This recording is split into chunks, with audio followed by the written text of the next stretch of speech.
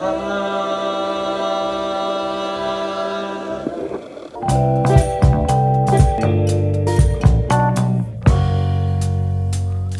suis retournée quelques mois plus tard pour jouer, pour faire une tournée.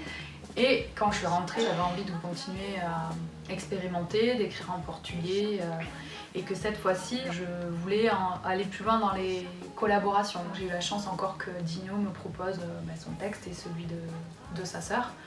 J'ai coécrit avec un artiste euh, brésilien qui s'appelle Giovanni Cidreira et aussi une chanson qui s'appelle Respirer avec euh, Gabriela, qui est un groupe qui s'appelle My Magical Glowing Lens.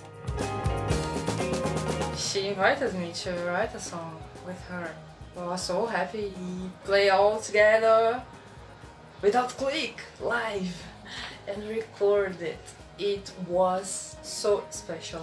J'ai un, un ami qui s'appelle André Péniché au Brésil qui euh, connaissait une personne qui travaillait dans un studio à São Paulo qui s'appelle le Dissenso Studio.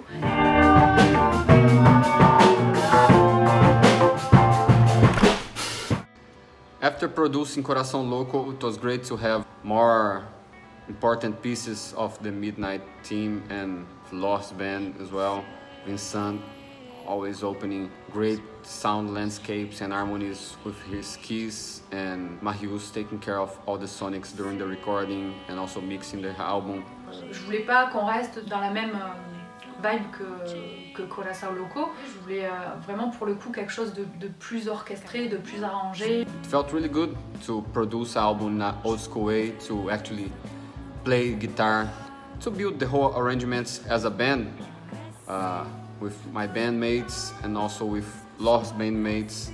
Uh, I really think it's a really special record to be listened uh, for the eternity and with no hurry. I think it's album for you to taste with patience and attention. Thanks, Law. Thanks, Midnight.